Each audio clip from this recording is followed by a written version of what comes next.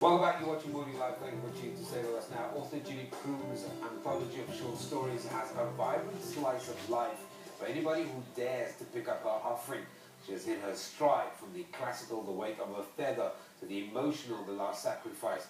A short story collection, The Weight of a Feather and Other Stories, is a special collection worth reading. She joins me in studio now. Judy, good morning, welcome. Thank you very much for having me, Samm. For the benefit of our viewers, give us a synopsis of the stories. Well, it's, There's a lot of- there's a lot of stories. choose, so, uh, well, it's probably better to say that, you know, as a collection of short stories, it's about, all the stories are about life, they're about love, they're about revenge, they're about prejudice, they're about fear, death. But mostly what I try to do with my stories is to make them about the resilience of the human spirit. And that I think is what I would like every reader to take away from The Weight of a Feather. Is that at the end of the day, no matter how bad things are, the human spirit always endures. I mean, one of the things that you notice when you do the research and you look at, at, at, just your history, I mean, you had the weight of a feather in the Huffington Post. I mean, that that's no small feat on it by, by any means. I think it was a bit of luck. Good How did that come about? Well, it's um, quite active on social media, and I happened to just come across a comment from one of the groups that I'm in saying, "Oh, the Huffington Post is accepting short stories." So I thought, "Oh, why not? Why not?" So I submitted this story, The way to the Feather, and I forgot about it. And two weeks later, I got this email saying, um, I had pet chickens as a child. I loved your story. We're publishing it in the Huffington Post. And I was like, oh, I can't believe it. And um, I think it's because the story captures, in essence, Yeah. it's this girl whose pet chickens are taken away from her and she cuts herself off from love. And at the end of the story, she opens herself up to love again. So there was quite a bit of poignancy in that story. And I think that's what spoke to the editor of the Huffington Post because those are universal issues. Love is a universal issue. And the fact that the Huffington Post is America and I'm sitting here in South Africa, love crosses all boundaries. And I think that's what turned the tide in my favor with that story. Why do we love short stories um, at the moment? Because, I mean, for a while it was struggling against the long format of novels. I'm a great fan of short stories because I think today's world is so busy. You know, Mm. who's got time to sit and read 800 pages? And something like short stories, you can start it, you can finish it in a quick time, then you can move on to the next one. You can even put it down after the one story, and, and, and it's kind of, it's kind of the, the stories that move along with you. When you have time, you can pick up the book again. Exactly, and you know, you can also read other things in between, but then you can go back and you can pick up a short story. You can read it if you're in a bus on the way to work. You can quickly read one story and you can finish it from the start of your journey to the end of your journey.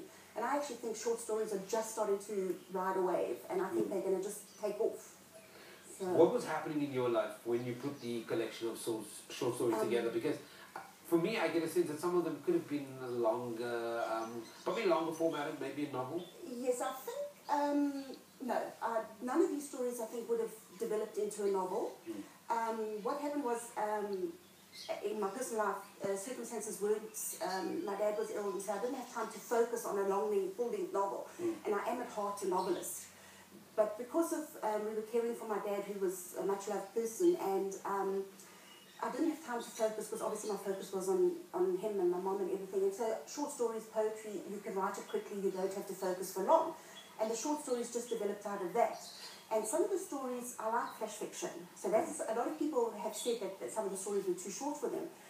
But um, you would never believe this, but sometimes I talk a little bit much, and I find I find in my short stories that in my writing I like to push myself to try and write as tight as possible, because you think of Ernest Hemingway, um, his best story to me is that short little seven-word story, for sale, one pair of baby shoes, unused.